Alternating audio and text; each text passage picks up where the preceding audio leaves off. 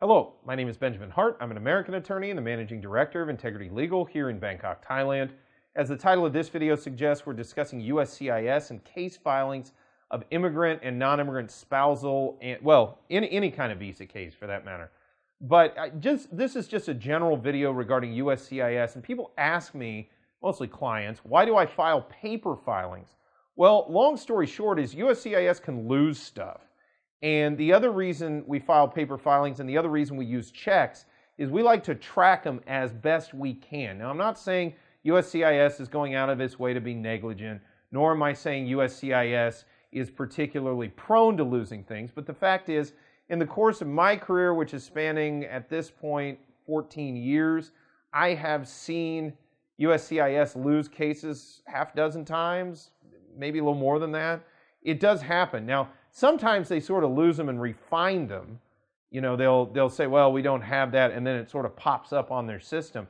But sometimes they just out and out lose the case. They they they just totally lose it. And especially with, with respect to paper checks, one of the reasons it's a good idea to still use those, and I have used this before, is they have to process the check.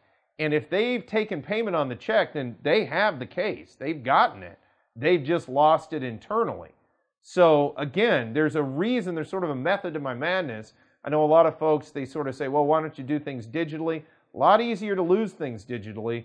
I like paper filings, and I have another video I'm making contemporaneously with this one where I go into that in more detail.